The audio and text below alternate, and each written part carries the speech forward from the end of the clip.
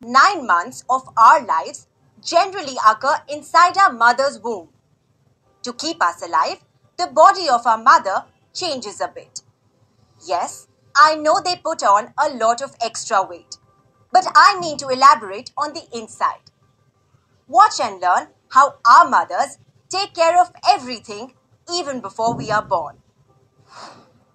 This topic deals with the structure and function of the placenta, fetal hemoglobin in the placental region.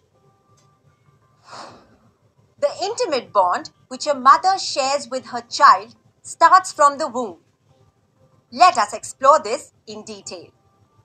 We find that the fetus is attached to the uterine wall through a thick tube-like structure known as an umbilical cord.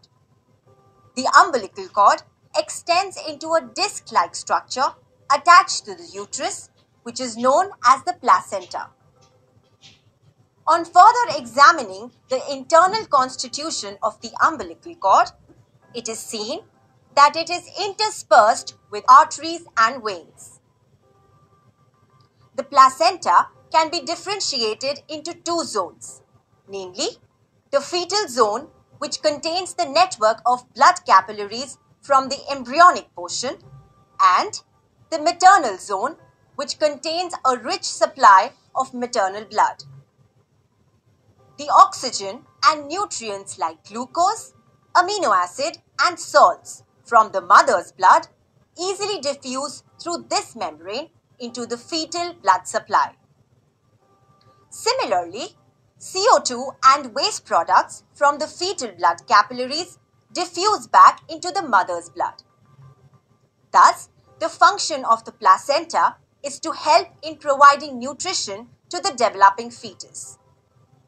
It facilitates the excretion of gases and excretory products from the fetal RBCs to the mother's RBCs. Fetal hemoglobin.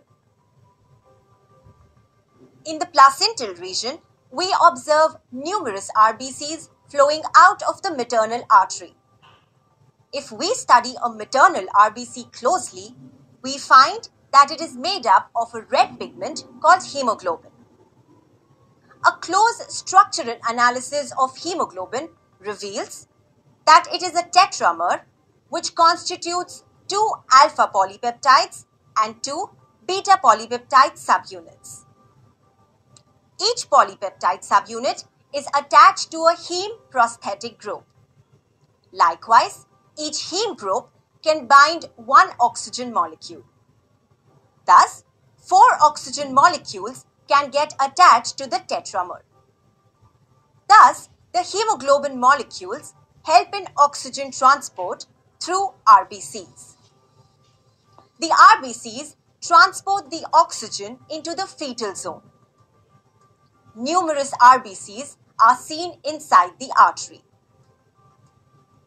Let us observe a single fetal RBC.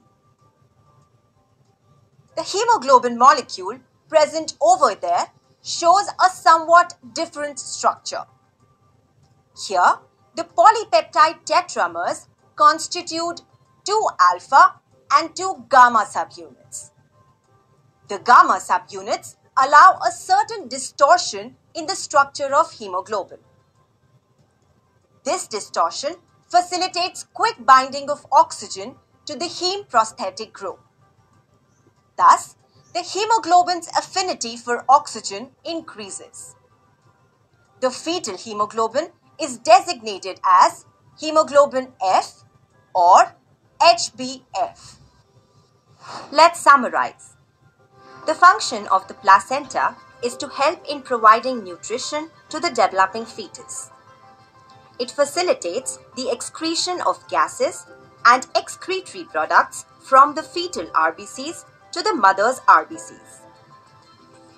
Hemoglobin's affinity for oxygen increases. The fetal hemoglobin is designated as hemoglobin F or HbF.